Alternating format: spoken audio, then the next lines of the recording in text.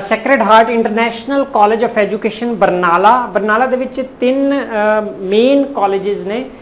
ਉਹਨਾਂ ਦੇ ਵਿੱਚੋਂ ਇਹ ਪ੍ਰਮੁੱਖ ਕਾਲਜ ਕਿਉਂ ਹੈ? ਕਿਉਂਕਿ 200 ਸੀਟਾਂ, ਸਭ ਤੋਂ ਜ਼ਿਆਦਾ ਸੀਟਾਂ ਇਸ ਕਾਲਜ ਵਿੱਚ ਹਨ। ਓਕੇ ਸਭ ਤੋਂ ਜ਼ਿਆਦਾ ਸੀਟਾਂ ਦਾ ਮਤਲਬ ਹੈ ਕਿ ਮੈਕਸਿਮਮ ਕੰਬੀਨੇਸ਼ਨ ਤੁਹਾਨੂੰ ਕੋਈ ਵੀ ਕੰਬੀਨੇਸ਼ਨ ਹੈ ਇਸ ਕਾਲਜ ਵਿੱਚ ਮਿਲ ਜਾਏਗਾ। ਸਬਜੈਕਟ ਜਿਹੜੇ ਦੂਸਰੇ ਕਾਲਜਾਂ 'ਚ ਨਹੀਂ ਮਿਲਦੇ ਤਾਂ ਇਸ ਕਾਲਜ ਵਿੱਚ ਮਿਲ ਜਾਏਗਾ। ਤੀਸਰਾ, ਇੱਥੇ ਐਮਐਡ ਵੀ ਅਵੇਲੇਬਲ ਹੈ। ਅ, ਨਾਲ ਨਾਲ ਹੀ ਤੁਸੀਂ ਐਮਐਡ ਅਗਲੇ ਸਾਲਾਂ ਵਿੱਚ ਕਰ ਸਕਦੇ ਹੋ। ਚੌਥਾ ਇਸ ਦੇ ਪ੍ਰਿੰਸੀਪਲ ਨੂੰ ਤੁਸੀਂ ਪਹਿਲਾਂ ਤੋਂ ਜਾਣਦੇ ਹੋ। ਮੇਰਾ ਕਾਲਜ ਹੈ। ਇੱਥੇ ਦੀਆਂ ਜੋ ਸੀਟਸ ਲਾਸਟ ਗਈਆਂ ਹਨ ਕਿੰਨੇ ਤੇ ਗਈਆਂ ਹਨ? ਯਾਦ ਰਹੇ ਕਿ ਐਨੇ ਕੰਬੀਨੇਸ਼ਨ ਹਨ ਪਿਛਲੀਆਂ ਸੀਟਸ ਫਿਲ ਹੋ ਚੁੱਕੀਆਂ ਹਨ। ਇਹ ਪੰਜ ਛੇ ਜਿਹੜੀਆਂ ਸੈਕੰਡ ਕਾਉਂਸਲਿੰਗ ਚ ਬਾਕੀ ਬਚਦੀਆਂ ਹਨ ਉਹ ਸੀਟਾਂ ਤੁਹਾਡੇ ਸਾਹਮਣੇ ਰੱਖ ਰਿਹਾ ਹਾਂ। ਕਮਰਸ ਦੀ ਲਾਸਟ ਹੈ ਪੰਜਾਬ 85% ਕੋਟਾ ਜਨਰਲ ਕੈਟਾਗਰੀ ਇੱਕ ਸੀਟ ਜਿਹੜੀ ਬਚਦੀ ਹੈ 67.5 ਤੇ ਜਾ ਰਹੀ ਹੈ।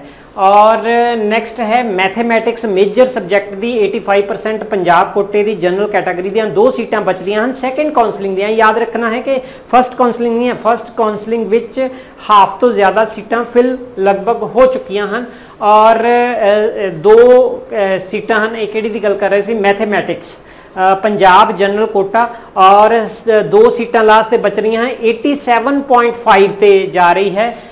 Last seat sacred heart international college of education political science ਵਿੱਚ ਜਾ ਰਹੀ ਹੈ। ਪੰਜਾਬ ਕੋਟੇ 'ਚ 85 ਵਿੱਚ ਜਨਰਲ ਕੈਟਾਗਰੀ ਵਿੱਚ 1 ਸੀਟ 48.5 ਤੇ ਜਾ ਰਹੀ ਹੈ।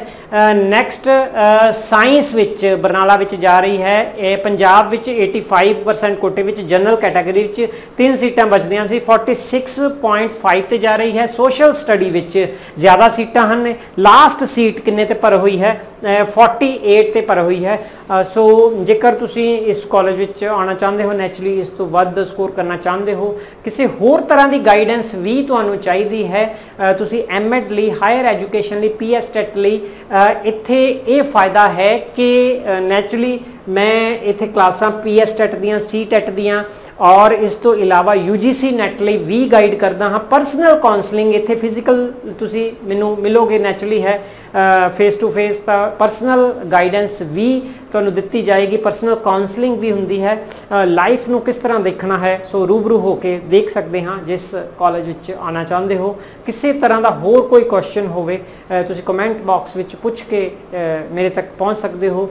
ਅਦਰਵਾਈਜ਼ ਇੱਥੇ ਸੀਟ ਲੈ ਕੇ ਤੁਸੀਂ ਮੇਰੇ ਤੱਕ ਪਹੁੰਚ ਸਕਦੇ ਹੋ।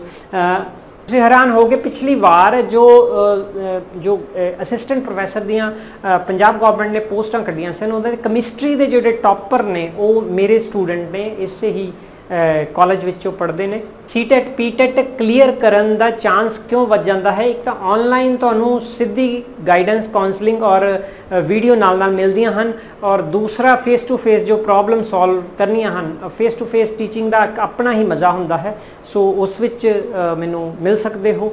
ਕਿਸੇ ਵੀ ਤਰ੍ਹਾਂ ਦੀ ਬੀਐਡ ਜਾਂ ਐਮਐਡ ਵਿੱਚ ਗਾਈਡੈਂਸ ਲਈ ਐਡਮਿਸ਼ਨ ਲਈ ਤੁਹਾਨੂੰ ਜਾਣਕਾਰੀ ਜਾਂ ਗਾਈਡੈਂਸ ਚਾਹੀਦੀ ਹੋਵੇ, ਤੇ ਇਹ ਨੰਬਰ ਵੀ ਫੋਨ ਨੰਬਰ ਮੈਂ ਦਿੱਤੇ ਨੇ, ਉਹਨਾਂ ਤੇ ਕਾਲ ਕਰਕੇ ਗੱਲ ਕਰ ਸਕਦੇ ਹੋ। ਥੈਂਕ ਯੂ ਡਾਕਟਰ ਤੀਰਥ ਸਿੰਘ ਲਰਨ ਟੂ ਐਕਚੁਅਲਾਈਜ਼